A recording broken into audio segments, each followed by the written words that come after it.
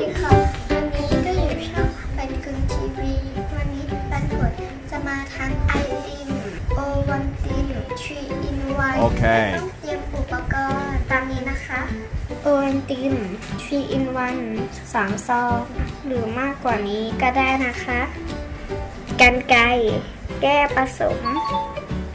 แบบใส่น้ำต้มจุกตะเกียบสะอาดซองเปล่า ก่อนอื่นเดี๋ยวเรามาผสมโอวัลตินกันเลยค่ะ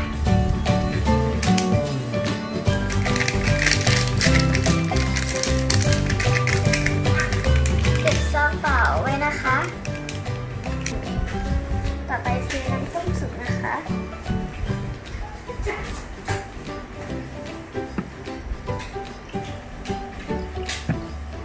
คนให้เข้ากันนะคะ อย่างนี้ยังไม่ได้นะคะเพราะน้ำตาลยังไม่ได้ละลาย อย่าใส่น้ำต้มสุกเยอะนะคะเพราะจะทำให้ไอติมมีรสชาติจืดคนต่อไปค่ะ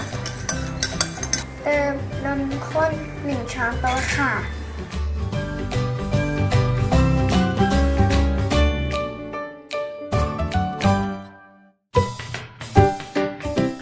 ตักชิมนะคะ ให้มีรสชาติหวานนำอื้อหืออร่อย Okay. ต่อไปก็ตักใส่ซองนะคะ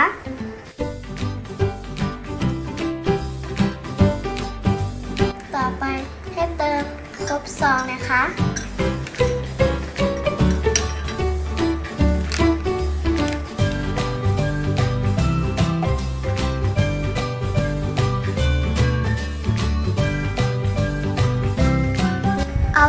กียบที่สะอาดสะอาดไปล้างน้ำอีกครั้ง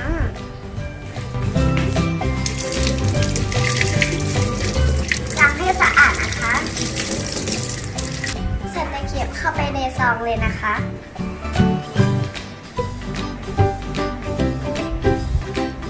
ต่อไปเราจะมาทำน้ำแข็งจากโอนติมที่เหลือกันนะคะตักใส่เข้าไปเลยค่ะ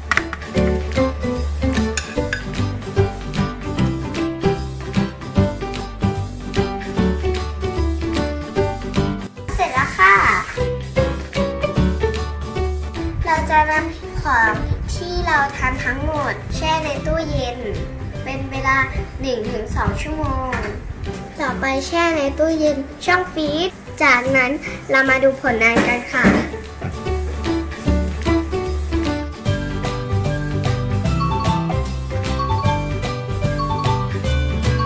แล้วแล้วก็เสร็จแล้วครับ อ่า เป็นก้อนพีระมิดเลยนะ อะไรลองกินดิเร็วๆเข้า